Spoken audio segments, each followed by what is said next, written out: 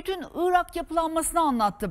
FETÖ'nün bir diğer terör örgütü DHKPC ile işbirliği deşifre edildi. Damla Burçer'in özel haberini getiriyoruz ekranlarınıza. Salih Fidan FETÖ'nün sözde Bağdat, Samet Güre'de sözde Erbil sorumlusuydu. Polonya'ya kaçmaya çalışıyorlardı. Ukrayna-Polonya sınırında yakalandılar. 6 Ocak'ta Türkiye'ye iade edildiler. İfadelerine TRT Haber ulaştı. Firari örgüt üyelerinin diğer terör örgütlerinden yardım aldıkları anlaşıldı. Güre ve Fidan Irak'taki FETÖ üyelerini Avrupa'ya göndermeye çalışıyordu. Yunanistan ve Polonya'da sahte Avrupa kimliği yapanlarla irtibat kurdular.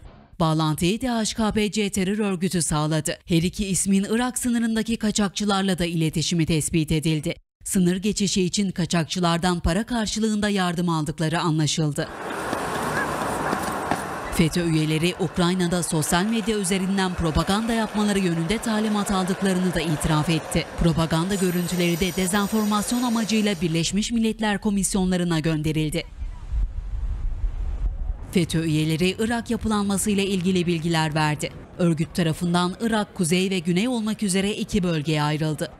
Kuzey, Erbil, Süleymaniye ve Duhok, güney ise Kerkük ve Bağdat'tan oluşuyor. Bu kentlerin her birinden sorumlu örgüt üyeleri bulunuyor. Ancak Türkiye ve Irak arasındaki yakın ilişki örgütü bunaltmış durumda. Bu kapsamda Irak'taki FETÖ üyeleri Avrupa'ya kaçmanın yollarını arıyor. Salih Fidan ve Samet Güre silahlı terör örgütüne üye olmak suçundan tutuklanarak cezaevine konuldu.